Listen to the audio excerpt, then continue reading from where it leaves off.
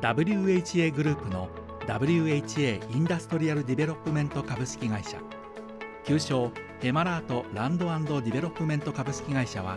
タイにおける工業団地公共インフラサービスおよび不動産ソリューションの大手開発会社です。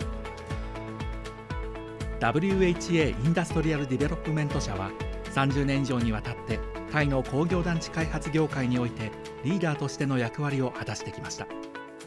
WHA インダストリアル・ディベロップメント社は総面積7774ヘクタールを超える10カ所以上の工業団地を有しそのほとんどがタイの東部経済回廊の域内に位置しています。各工業団地はレムチャバン深海港とスワンナプーム空港やウタパオ空港にほど近い戦略的な立地条件を備えています。タイ国内外から入居する企業は自動車石油化学エレクトロニクス物流航空宇宙部品一般消費財建築資材など多岐にわたります。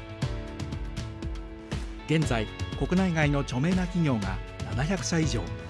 総投資額は310億ドルを超えています。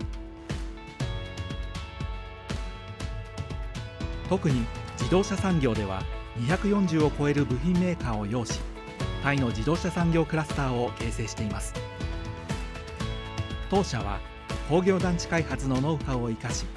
ベトナムのゲアン省において国際水準を満たす WHA インダストリアルゾーンゲアンの開発を進めています。同工業団地の開発計画フェーズ1を進めるにあたりすでにベトナム政府当局から投資登録証明の取得を済ませています。完成時には総面積が3200ヘクタールに及びベトナム北中部で最大のインダストリアルゾーンとなります。ゲアン省はベトナム北中部の教育の中心地としても知られ毎年多くの学生が卒業就労しています。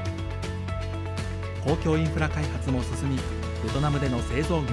物流業の新たな拠点として注目されています。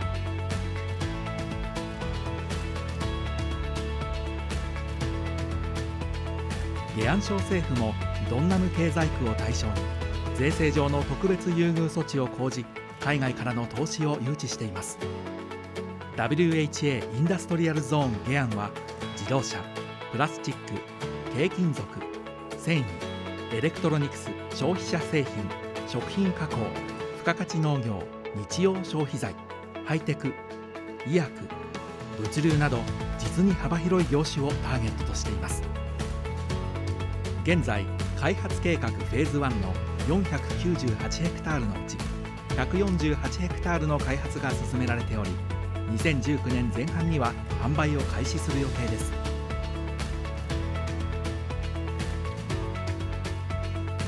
造成管理工業用水排水処理